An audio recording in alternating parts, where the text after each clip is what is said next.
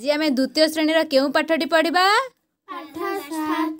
ଆସ ବୁଲିଯିବା ଭଟ୍ଟାରିକା। ଶୁଣ ଦୁଷ୍ମନ୍ତ ବାବୁଙ୍କ ଘର ଆଠଗଡ଼। ଦୁଷ୍ମନ୍ତ ବାବୁଙ୍କ ଘର କେଉଁଠି? ପାଖରେ ଭଟ୍ଟାରିକା ଠାକୁରାଣୀ ପୂଜା ପାଆନ୍ତି। ସେଥିପାଇଁ ଭଟ୍ଟାରିକା ବୁଲିଯିବା ପାଇଁ ସେ ଯୋଜନା କଲେ। କିଏ ଯୋଜନା କଲେ? ଦୁଷ୍ମନ୍ତ ବାବୁ। ଦୁଷ୍ମନ୍ତ ବାବୁ ନାତୁଣୀ ନାତି ନାତୁଣୀଙ୍କ ସହ ବାହାରିଲେ ଭଟ୍ଟାରିକା ଯିବା ପାଇଁ। ଜିନିଷପତ୍ର ବି ସଜାଡ଼ିଲେ। ଜେଜେଙ୍କର ଗ୍ରନ୍ଥ ନେବାକୁ ସେମାନେ ଭୁଲିଲେ ନାହିଁ। କେଉଁମାନେ? ନାତି ନାତୁଣୀ ମାନେ। କାନ୍ଥ ଘଣ୍ଟାରେ ଚାରିଟା ବାଜିଲା।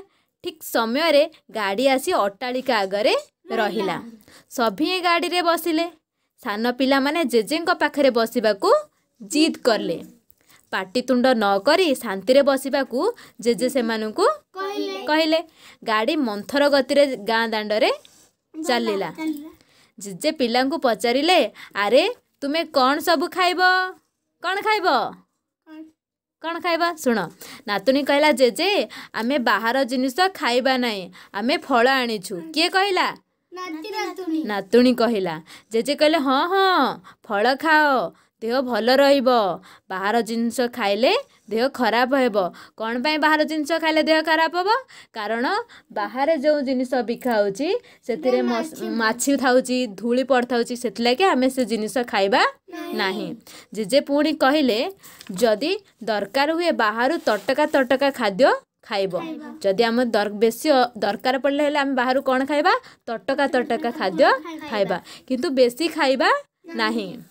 ବେଶୀ ଖାଇଲେ କ'ଣ ହେବ ବେଶୀ ଖାଇଲେ ଝାଡ଼ା ବାନ୍ତି ଆଉ ପେଟ ଗୋଳମାଳ ବି ହେଇପାରେ ପିଲାଏ ପଚାରିଲେ ତେବେ ନ ଖାଇଲେ କ'ଣ ହେବ ଜେଜେ ଚଟାପଟ କହିଲେ ନ ଖାଇଲେ ଭୋକ ହେବ ହାଲିଆ ଲାଗିବ ବୁଲିବାକୁ ମନ ହେବ ନାହିଁ କାମ କରିବାକୁ ବି ମଧ୍ୟ ଭଲ ଲାଗିବ ନାହିଁ ପାଠ ବି ପଢ଼ିବାକୁ ଭଲ ଲାଗିବ ନାହିଁ ଆଉ ଆମକୁ ଦୁର୍ବଳ ବି ଲାଗିବ ତାପରେ ପିଲାମାନେ ଜେଜେଙ୍କୁ ଗପ କହିବା ପାଇଁ ଗୋଟେ ଅନୁରୋଧ କଲେ ଜେଜେ କହିଲେ ଘରେ କହିବି।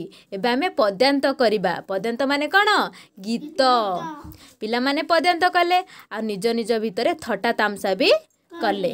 ପଦ୍ୟାନ୍ତ ଆଉ ଥଟା ତାମସା ଭିତରେ ଗାଡ଼ି କେତେବେଳେ ଭଟ୍ଟାରିକାରେ ଯାଇକିରି ପହଞ୍ଚିଗଲା।